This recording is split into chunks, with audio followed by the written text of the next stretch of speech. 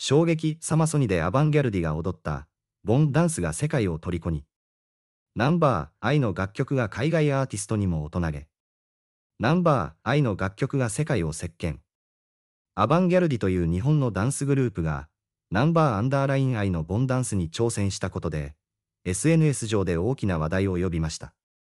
このボンダンスはナンバーアンダーライン愛というグループのメンバーである平野翔、ガンユータ、神宮寺勇太によって披露され、ファンのみならず、多くのアーティストやダンスグループにも影響を与えています。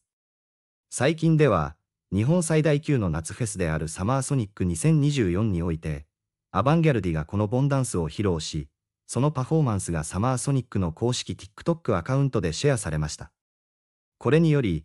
SNS ユーザーの間でさらなる注目を集め、ボンダンスやナンバーアンダーライン愛の人気がますます高まっています。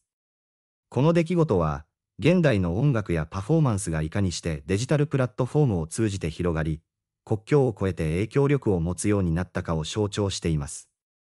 特に TikTok のようなプラットフォームは、アーティストやパフォーマーが一気に注目を集める場としての役割を果たしており、そこから生まれるトレンドは瞬く間に世界中に広がります。ボンダンスもその一例であり、アバンギャルディのパフォーマンスが日本国内外で話題となり、多くの人々に共有されていることは、このダンスが単なる一時的な流行ではなく、広く支持されている証です。アバンギャルディのメンバーがボンダンスを披露したことに対する SNS 上の反応は非常にポジティブで、多くのファンや視聴者がそのパフォーマンスに感動し、称賛の声を寄せています。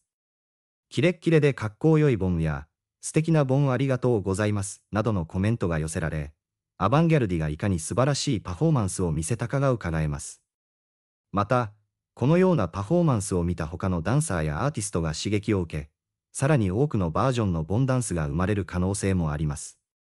こうした SNS での拡散力とコミュニティの反応は、現代のエンターテインメントが持つ力の一端を示していると言えるでしょう。ナンバーアンダーライン愛のボンダンスがこれほどまでに人気を博している背景には、その振り付けの斬新さや楽曲のキャッチーさが大きく影響していると考えられます。振り付け自体はシンプルでありながらも、見る者の心をつかむようなインパクトがあり、誰でも真似しやすいという点が SNS での拡散に一役買っています。さらに、ボンという楽曲は、リズム感やメロディーが非常に耳に残りやすく、多くのリスナーにとって親しみやすいものであることも、人気の理由の一つです。このように、楽曲とパフォーマンスが一体となり、一つの文化的現象を生み出していると言えます。また、ナンバーアンダーライン愛のメンバーが個々に持つカリスマ性やファンとの密接な関係も、ボンダンスの成功に寄与しています。彼らはそれぞれが独自のキャラクターと才能を持ち、その個性がグループ全体の魅力を高めています。ファンは彼らの一挙一動を SNS で追いかけ、応援し、彼らの成功を自分自身のことのように喜んでいます。このようなファンとの強い絆が、ボンダンスの流行をさらに後押しし、広がり続けているのです。しかし、この現象を単に流行の一過性のものと捉えるのではなく、なぜこれほど多くの人々がボンダンスに惹かれるのかを考えることも重要です。現代のエンターテインメントにおいて、単に楽しいだけではなく、何か共感できる要素や心に残るメッセージが含まれているコンテンツが求められるようになっています。ボンダンスは、視覚的な楽しさやリズム感の良さだけでなく、見ている者にエネルギーやポジティブな感情を伝える力があるのではないでしょうか。そのため、観客は単にパフォーマンスを楽しむだけでなく、そのエネルギーを共有し、さらに広めたいという気持ちになるのです。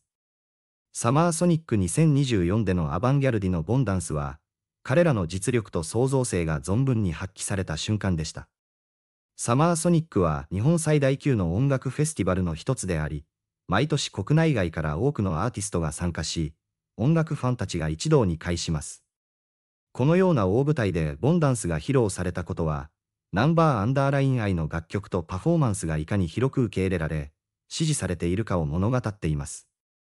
そして、このようなイベントでの成功は、アーティストやパフォーマーにとって非常に大きな意味を持ちます。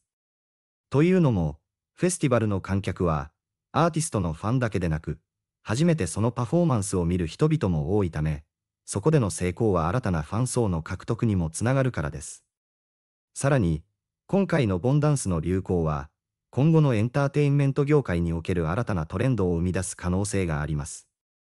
アーティストやダンサーが自らの作品を SNS を通じて広めることで、新たな文化的現象が生まれるという流れは、今後も続いていくでしょう。その中で、ボンダンスのようにシンプルでありながら強いメッセージ性を持つパフォーマンスが、どのように進化していくのかは非常に興味深い課題です。今後、どのようなアーティストやダンスグループがこの流れに乗り、新たなムーブメントを生み出していくのかにも注目していきたいと思います。今回の出来事を通じて、エンターテインメントが持つ力や、SNS がその広がりを加速させる役割について考えさせられます。ボンダンスは、まさにその象徴と言えるでしょう。エンターテインメントは、人々に喜びや感動を与えるだけでなく、時には社会に影響を与え、新たな文化を作り出す力を持っています。その力をどのように活かし、どのようにして次の世代へとつなげていくかは、アーティストやクリエイターの大きな課題です。私たちは、これからも彼らの挑戦を見守り、その成長を楽しみにしています。そして、ボンダンスのような文化的現象が、どのようにして世界中に広がっていくのか、その過程を楽しみながら見守っていきたいと思います。このような流行やムーブメントが次にどのような形で現れるのか、そしてそれが私たちの生活や社会にどのような影響を与えるのかを考えると、非常にワクワクします。ボンダンスがこれほどまでに多くの人々に支持され、広がっている現象は、エンターテインメントが持つ可能性の一端を垣間見せてくれます。そして、その可能性を最大限に引き出し、新たな挑戦を続けるアーティストたちの未来に期待せずにはいられません。ボンダンスが世界をつなぐ。ナンバー愛の楽曲が海外アーティストに愛される理由。ボンという曲をご存知ですか？日本のアイドルグループ、ナンバー愛、平野翔、ガンユータ、神宮寺ユータが2023年12月にリリースしたこの曲は、中毒性のあるメロディーと覚えやすいダンスで、瞬く間に人気を獲得しました。そして、このボンダンスは、単なるアイドルソングのダンスにとどまらず、国境を越えて多くの人々に愛され、注目を集めているのです。ボンダンスの最大の魅力は、そのシンプルさと親しみやすさにあると言えるでしょう。基本ステップは誰でも簡単に真似でき、手のひらを開いて前に突き出す、ボンポーズも、見ているだけで楽しく、自然と笑顔が溢れてくるような、そんな親しみやすさがあります。そのわかりやすさから、ファンだけでなく、ダンス経験者やプロダンサーまでもが、ボンダンスに挑戦し、SNS で動画をアップするなど、多くの人々に広がっていきました。そして、このボンダンスが世界に広がるきっかけとなったのが、2024年のサマーソニックという日本最大級の音楽フェスです。サマーソニックのステージで、日本のトップダンサーチームであるアバンギャルディがボンダンスを披露したのです。アバンギャルディは数々のダンスコンテストで優勝経験を持つ実力派チームであり、そのパフォーマンスは、観客を魅了するだけでなく、SNS でも大きな話題となりました。アバンギャルディのパフォーマンス動画が、サマーソニック公式 TikTok アカウントから公開されたことで、ボンダンスは世界中のダンス愛好家に知れ渡りました。海外の有名ダンサーやインフルエンサーも、この動画を見て、ボンダンスに挑戦し、その様子を SNS にアップ。さらに、海外のアイドルグループやアーティストが、ボンダンスを取り入れたパフォーマンス動画を投稿するなど、ボンダンスは国境を越えて広がりを見せています。ボンダンスが広がった要因の一つとして、ナンバー、愛の楽曲自体が持つ魅力も挙げられます。